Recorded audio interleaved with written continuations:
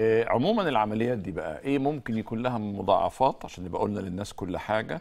إيه إيه نسب الفشل ونسب النجاح؟ أنا داخل عايز نتيجة معينة أنت بتديني نسبة قد إيه من النتيجة ديت؟ يعني تمام. فصل لنا الحتة دي والنبي. كويس. ده مظبوط ده ده كلام حضرتك مظبوط جدا. أنا لازم أقعد قبل العملية مع الحالة نشرح كل ال details.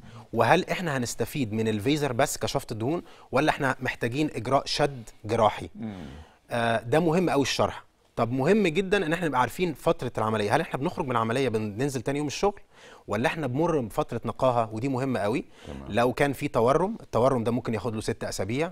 لو كان في جرح يهمنا إن الجرح ده في خلال 10 أيام أسبوعين بنغير عليه بنفسنا عشان يبقى الجرح ملتئم وما يكونش باين.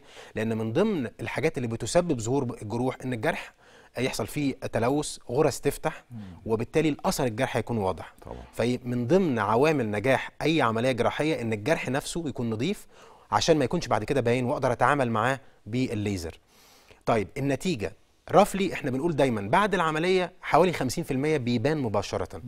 لكن ال 100% بتبان بعد ما التورم والجلد يبدأ ينزل ويطبع على العضلة ودي في الغالب تاخد لها من 6 أسابيع ل 8 أسابيع يعني حوالي شهرين.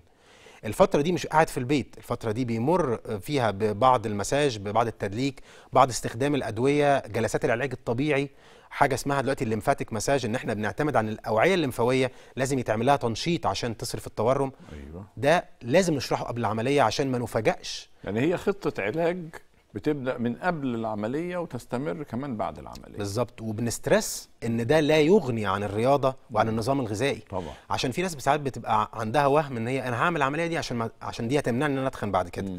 أو إن خلاص الدنيا هتتصلح forever هياكل بلخبطة هيتخن هيبوظ العملية. بالظبط. آه وهو, وهو ده اللي إحنا لازم بنركز عليه. آه، لأن لو إحنا مش هنغير ال lifestyle بتاعنا لا ممكن طبعا الإيه؟ أنا كنت. لسه هسألك يعني هو بيعيش إزاي بعد الحاجات دي وتضمن انه يفضل محتفظ بالنتيجة اللي أنت حققتها له؟